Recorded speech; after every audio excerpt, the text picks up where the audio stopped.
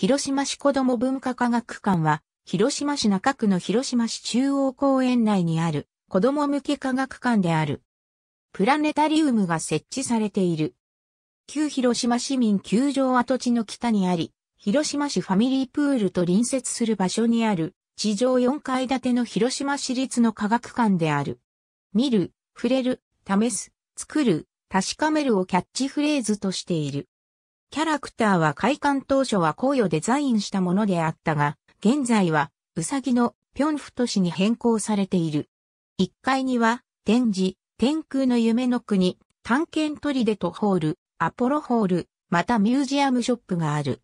常設展示では科学に子供たち自身が触れて楽しめるような工夫がしてある。探検砦は1階と2階の展示場をつないでいる。アポロホールでは子供向けの劇や音楽会、映画会などが開催されている。2階にはサイテック博士の面白研究室がある。こちらも子供たち自身が触れて楽しめるような展示となっている。3階には天文の科学、イベント、企画展示のためのスペースと実習室がある。4階にはプラネタリウムとアマチュア無線室がある。プラネタリウムの番組は職員制作として有名である。1階の及び2階は数度の展示更新により展示物は大幅に入れ替わっている。なお、同じ建物に広島市子ども図書館が併設されている。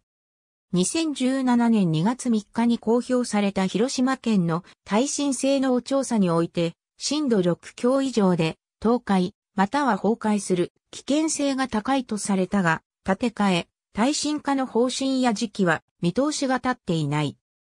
2017年9月1日から毎日個別塾5デイズが運営している後、コーポレーションが広島市による命名権導入で、ゴデーズ子ども文化科学館の名称となる。契約期間は3年。C59161 子ども文化科学館の南側に保存展示2004年7月撮影プラネタリウムは4階に設置されている。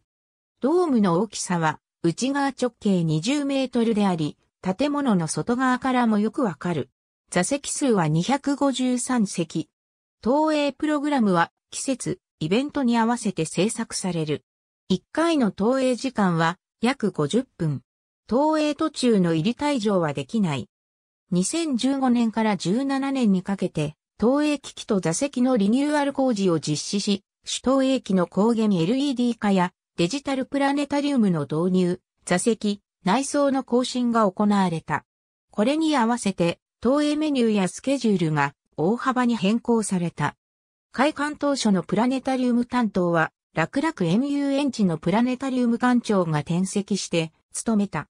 平日の投影は4回あり、投影開始時刻は1回目マイナス11時00分、2回目マイナス13時00分、3回目マイナス14時00分、4回目マイナス15時00分である。